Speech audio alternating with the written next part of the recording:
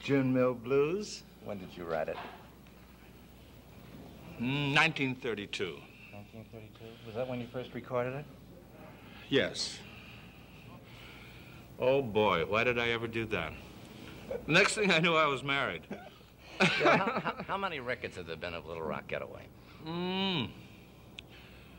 As far as I know, uh, you mean uh, the artists and the bands who have Yeah, recorded it? I would say there must be haven't there? Yeah. 15. Yeah, at least.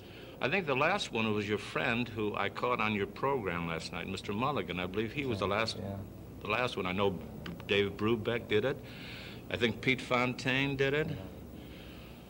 And of course, uh, the Crosby Band. Does, Joe, The- does the Joe Sullivan feel like doing it now? Oh, brother. what time is it? Okay. You have time. You, you, you better keep your fingers crossed.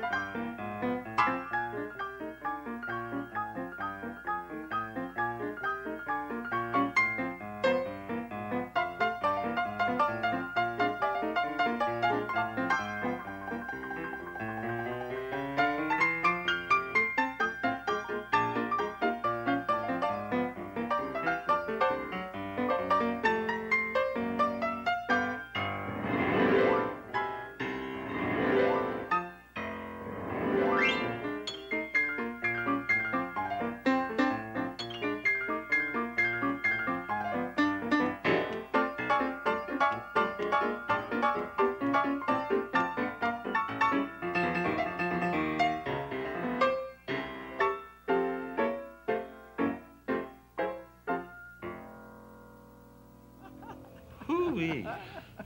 I don't know how you ever talked me into that.